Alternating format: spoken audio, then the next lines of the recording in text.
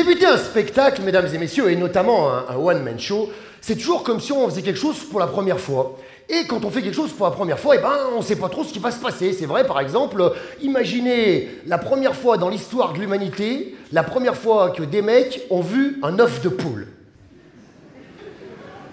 Attends, ils ont dû se poser des questions, les mecs. Qu'est-ce que c'est que ce truc? Son pote a dit, je sais pas, c'est- c'est sorti du cul de l'oiseau, comme ça.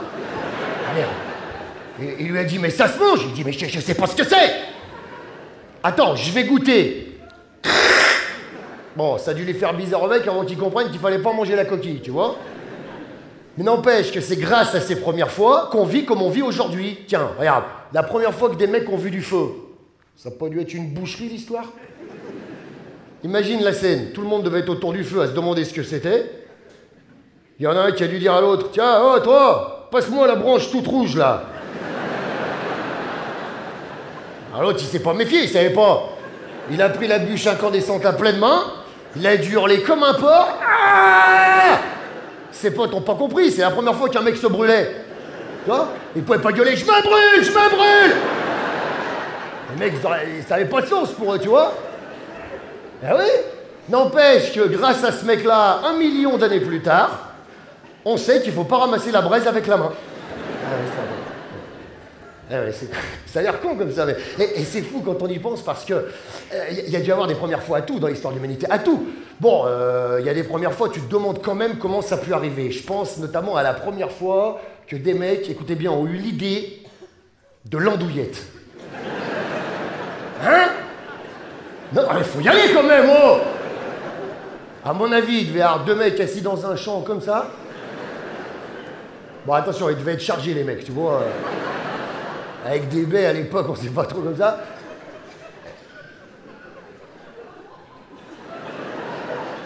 Alors, il devait regarder un troupeau de cochons.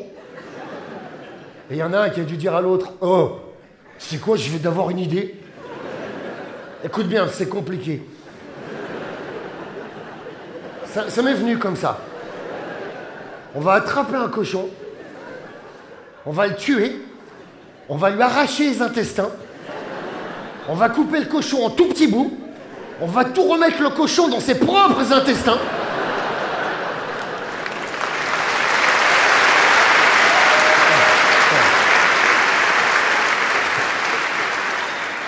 On va efficer à chaque bout, on va y manger. Qu'est-ce que t'en penses?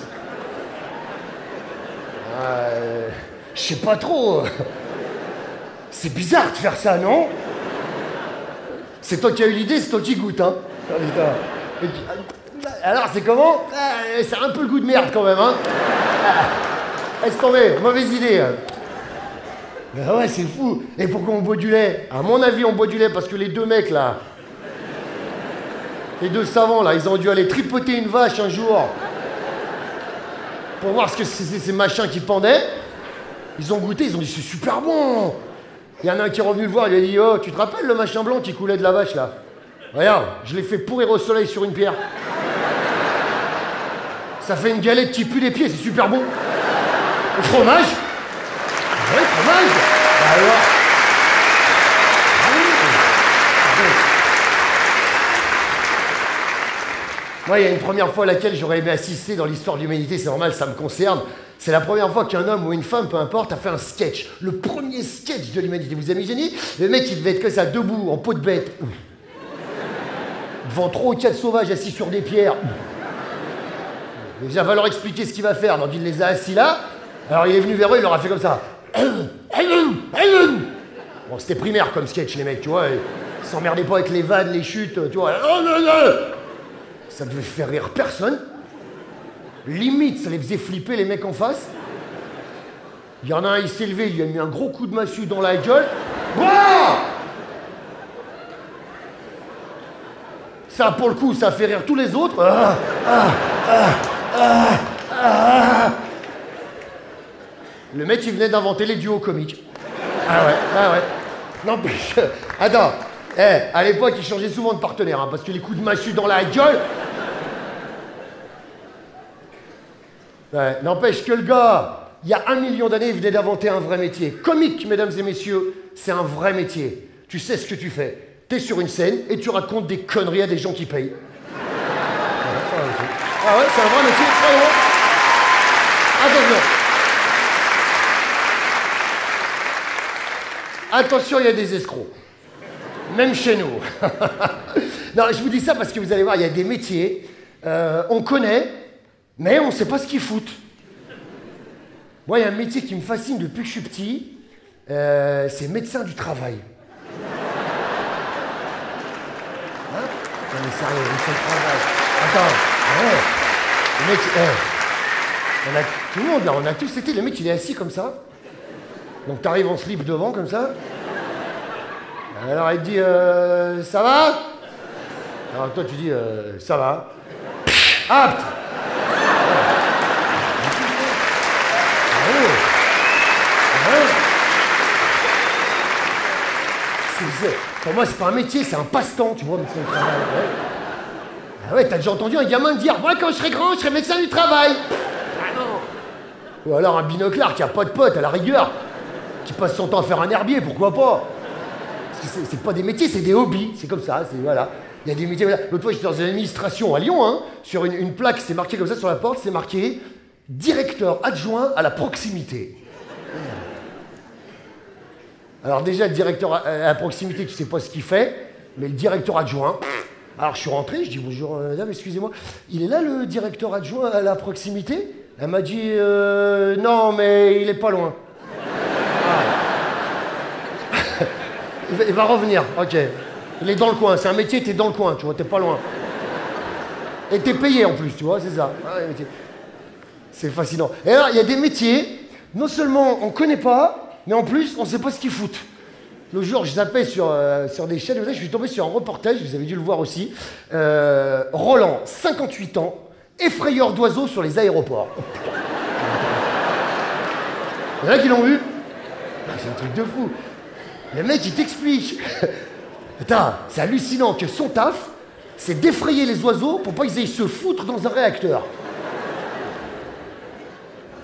Roland, ça fait 30 ans qu'il vit sur un tarmac.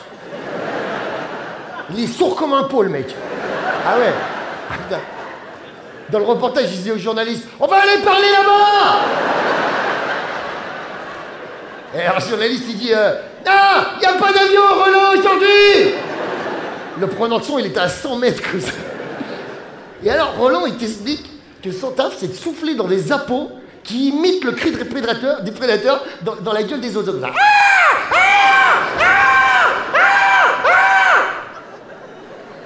Il court partout sur le tarmac comme ça. Sauf que les oiseaux, ça fait 30 générations ils le connaissent, Roland.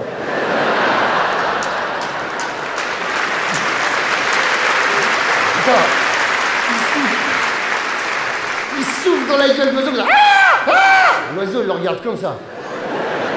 Genre, tu pètes un câble ou quoi Donc il y a la télé, il est mal, il est mal, Roland, il va avec un pétard. Ça va le faire fuir Chut. Pas L'oiseau, il fait juste ça. Et à la fin, il y va carrément avec une carabine sur un tarmac. Hein. Toi, tu décolles à 20 mètres. Hein. Saloperie d'oiseau La prochaine fois vous décollez, regardez par le hublot, vous allez le voir Roland courir partout comme ça. Là, il y a des métiers dangereux, hein Heureusement, en comique, c'est moins dangereux, mesdames et messieurs. C'est moins dangereux. Alors, vous voyez, je vous disais, débuter un spectacle, on ne sait pas ce qui va se passer, on ne sait pas ce qu'il faut faire exactement. Eh ben, moi, je vais vous dire, le plus simple, mesdames et messieurs, pour débuter un spectacle, et notamment un one-man show, eh bien, c'est de commencer par un sketch.